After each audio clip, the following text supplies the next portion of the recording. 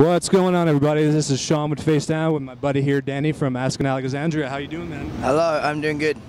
Excellent. Uh, we're here at the Vans Warped Tour in Denver. Uh, we just saw them play. They put on a kick-ass show. Uh, since the last time we talked, Danny, anything uh, exciting news happen?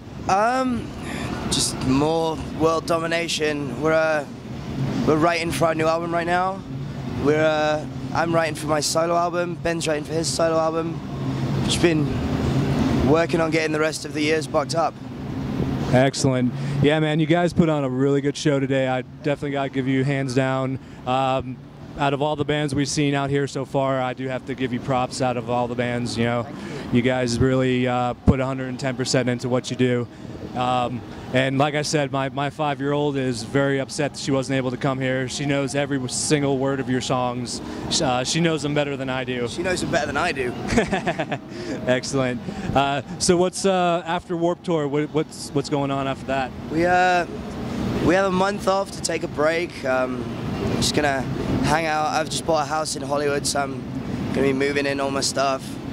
Um, then we've got a tour in Australia, and then we're coming back over to the States for uh, another headline tour that we're not allowed to announce yet. But I kind of just announced it. I can't say who's on it though. I don't know what you're talking about. but uh, yeah, man, uh, your new re- your new album, uh, Reckless Re- Relentless, is uh, fucking amazing. I think it's just as good as Stand Up and Scream. Thank you. Um, it's gotten a lot of hits. Uh, like I said, with our last interview that we did, um, literally after three weeks of having you guys up there, it went up to 20,000 hits and it's still climbing. So I can only imagine what uh, what this interview is going to hit up Yeah. to. Millions. Yes, Millions and millions.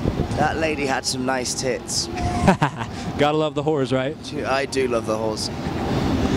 Well, I do appreciate you taking the time to uh, fill us in and uh, catching up, man. It's definitely uh, always a pleasure. And uh, looking forward to seeing you guys next time when you come down to the area.